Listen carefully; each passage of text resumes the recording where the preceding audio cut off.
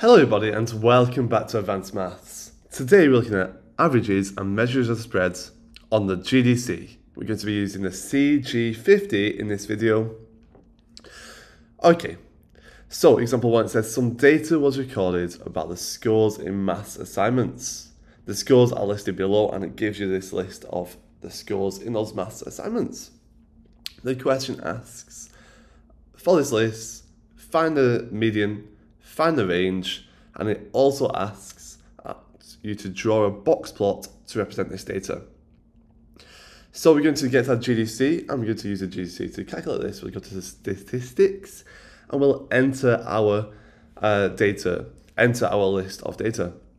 When you're pressing each number, just press EXE after each number to move to the next row. Like this. Now when you've entered this, we're going to go to calc and we're going to uh, change the settings.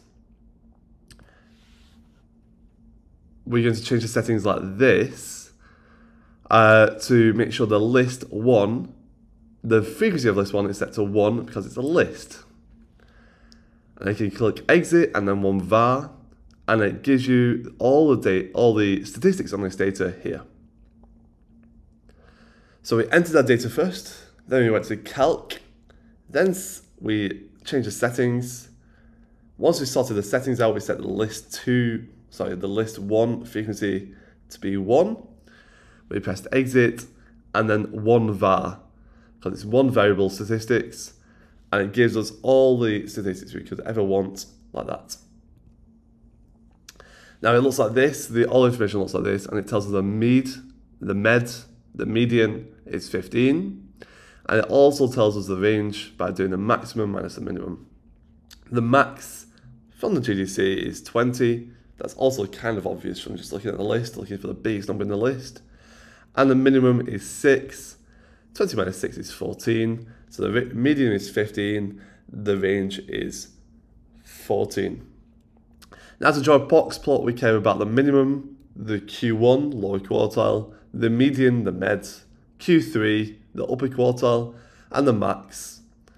Like this. So the minimum is 6, Q1 is 12.5, medium is 15, Q3 is 17.5, and max is 20. And we draw a box plot like this. If you need to revise box plots, I will link uh, my box plots video in the description below, and I'll also link it at the top of this video as well.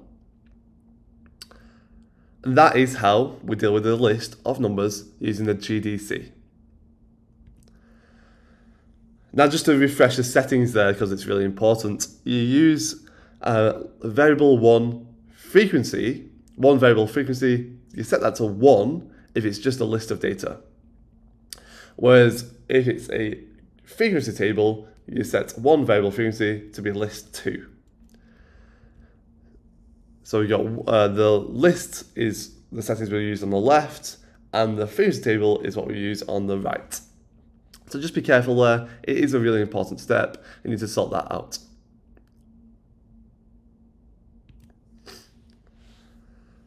Now, uh, our school records the number of late marks over the course of a few weeks. The data is displayed in the frequency table below.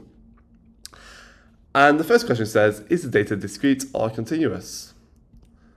Well, continuous data is data that can take any value, whereas discrete value, discrete data can only take specific values. Often, discrete data will be just integer values.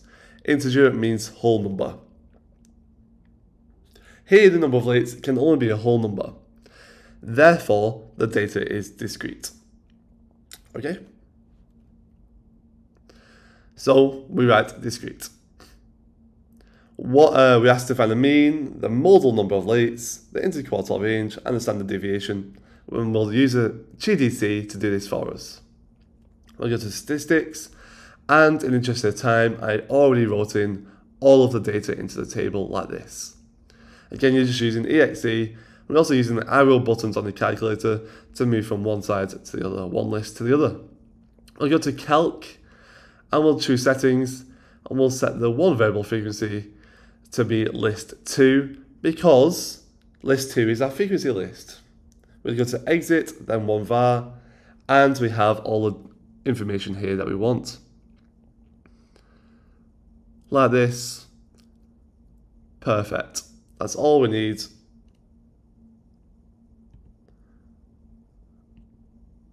And it looks like this. Now, what is the mean number of leaks? Well, that's given by x bar. So it's the very first number in the list of data. x bar is 2.89. Uh, and we can write it like this. In IB, we always write things to three significant figures. So we'll write this to three significant figures as well.